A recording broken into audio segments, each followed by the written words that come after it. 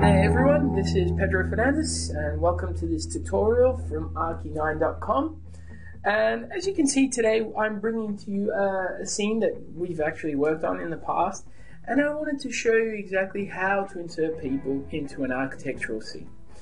Uh, people play an important role in architecture and especially in these architectural visualizations. They give scale, they give composition and they kind of embrace a whole kind of feeling and emotion to the scene. And as you can see at the moment on screen, I've brought out one of the latest ones we did work on. And I wanted to show you just how important it is if we just remove all these people and give you the raw feeling of this image. And as you can see, I mean, it's there, but it's not much, and there's not much going on. So what I wanted to show you is exactly how I looked at it and how I wanted to compose it. And you can see this within, I mean, within various artists and the way they use people. And one of the ones that actually sprung up to mind was uh, Velasquez and Las Meninas. And what happens is, if you look at this, the people in this are telling a story. We've got lots going on. We've got the light coming in on the right, just lighting up the faces. We've got heaps of little stories that just go around. We've got little girl playing with a dog. We've got the guy at the back. We've got these two within the picture and he's used people as his main composition in this. All the rest is kind of, well, I wouldn't say accessory, but the importance is gathered within the people and the people used. And that's a bit of what we're trying to create here.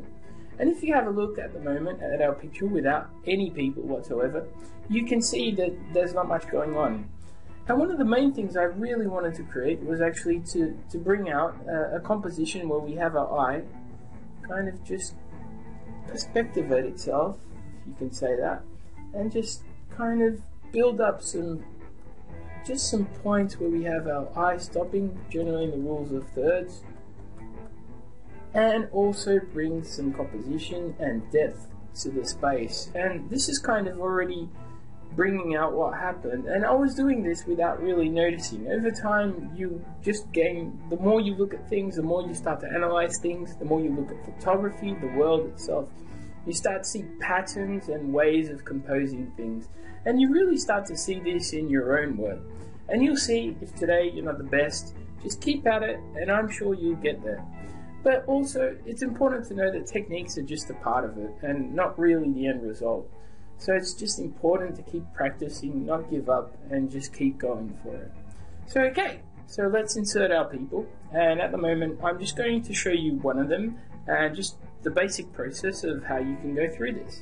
So I found a, a person online, just a, a student. I thought this would work really well if we just brought it here. And it just would pop out and look really well and give a kind of um, a kind of just compositionally look really good and just break it up a little bit and have our eye just follow through the space, just as our previous uh, drawing. So I'll take that off and I'll show you exactly how we can cut out these people, which I've just pasted in from, from an online website.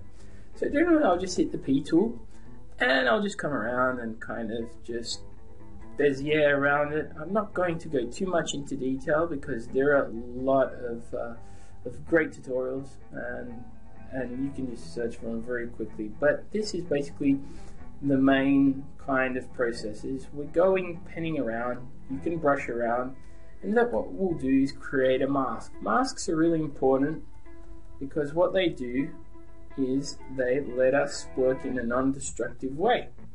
And a non-destructive way means basically that we have all our information there and if we want to change in the future we can change. So I've done this quite roughly just to show you. So we have our P tool, I can just right click and let's make selection. And that doesn't actually pop up on screen but here we go. And I've made the selection and I'll just delete that and just create a mask down here. So we have our mask now, if I just hit the B tool for brush, and as you can see, I'm I'm not I, I'm not best at actually using uh, shortcuts, but there are a couple that I do use, and B is one of them. So I bring up my my brush and I just start to paint around. And I'm doing this really, really roughly. I mean, I'm just doing this uh, to show you. So I'm painting around, and if I still want to get a little more out, I just flip around the colors to white. Can use X for that. And I'm just bringing in more info. So basically I've already prepared uh, a cutout of which I've already scaled. So we have our cutout, and as you can see, it's kind of sticking out, and it's uh, the main focal point, if you look at it at the moment, how it is. So what we need to do is actually correct, firstly, its values, and then color grade it, and then add the minor details that just make it look really good. Uh, so basically, let's look at values. So I'm going to create here a black and white filter. So let's just go to black and white, and that will just change the whole image to black and white. And let me unplug these ones, which I already have done, and put a levels, create a levels layer, and just attach that levels layer, and bring out the white point. So there you go. I'm lifting the white point already. That's already making much more sense. And generally what happens is in um, atmospheric perspective, we have what's closer to us with deeper blacks, higher contrast. So as you can see, contrast between white and black is quite heavy and the blacks are getting much blacker as they are closer to us. As they drift off into the distance, I mean, just looking at these guys, you can see that the blacks now have some tonality to them, they have some shape, and we've just lifted up that black point a little bit more towards the whites. So I'm going to continue on correcting it, and I think that's pretty much there. Can even do that. Yeah, that looks good. So now our values are right. But what else do we need? We need our colors. And I, am quite sure that this is a bit too red. So what I will do is basically just use a color balance. And I used a hue saturation there, but uh, I think color balance could have actually been better. Because color balance, I'm taking out a bit of the readiness, and we had a bit too much red. And I think that's already looking really good. So what we need now is actually the little shadows behind it. And the shadows below it, sorry, the shadows below, uh, they kind of, we have a contact shadow, as you can see in this photo. We have contact shadows, and we have just this uh, this ambient diffuse shadow that comes out from the, the soft light. So where it contacts, it kind of just grounds it. So firstly, we're going to do the main diffuse shadow. And I'm just going to control T to transform. I've just copied down, sorry. So you can just hit Alt and shift it below. And I'm just going to distort this and just kind of get it to where everything is and just following the sun. And that's kind of more, more or less there. And what I do is I can just control U, so I bring up the hue saturation menu, and I'm just desaturating the whole thing and just making it black. And I can just push it down, and there we go. I'm kind of using these on the right as a measurement. So these are looking really good. So another thing we need are the contact shadows. So the contact shadows are basically just painting what's right around the tires and where everything touches to make it grounded and just look like it's sitting on a ground. So I'm just going to go paint into that. And there we go. And I think, yeah, that's looking much better. Now there are another little thing that, um, that I mean, you can just go on forever, but with time, it's important that you move forward and you can't get stuck up in people just as much as they are important to a scene. So another little thing that's important is actually rim light. So let's create a new layer down there and just call this rim light. Let's just hit it. I'm sorry if you're hearing all my keystrokes, but this is actually a microphone from my webcam and a new one should be coming any day now. So let's paint our rim light and just put that to soft light in our blending mode. And what this will do is just create this outline shadow that looks quite amazing. There we go.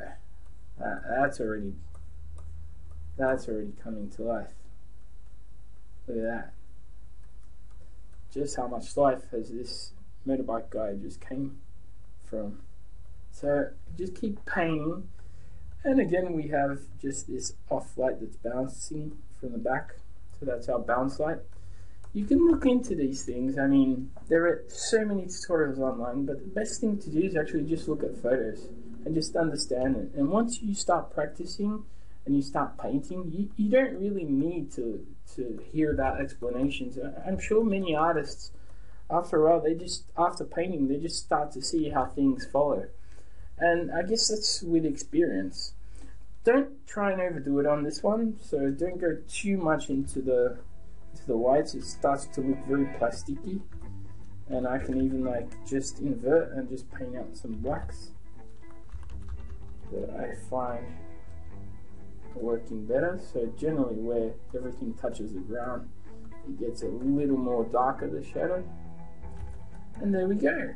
And he's inserted, he's looking fantastic. I think it's it's so simple. There's nothing much to it. It's just a case of uh, taking your time and following three simple steps, which is just take care with your levels, just color balance it, and just add your rim lights and bounce lights. And that's as simple as that. And of course, your shadow. So there's there's actually not much to it. Uh, I hope you've enjoyed this uh, first tutorial.